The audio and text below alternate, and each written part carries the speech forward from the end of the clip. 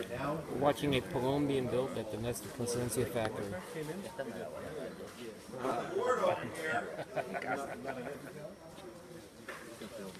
taking uh, daily temperature reading. You know, uh, what date this tobacco came in here? The pilon number,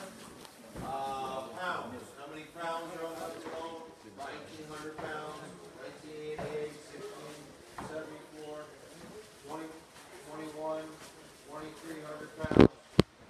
Each pilon in here is numbered. Now, taking a daily temperature reading. And monitoring the temperature. Well, how do they do that?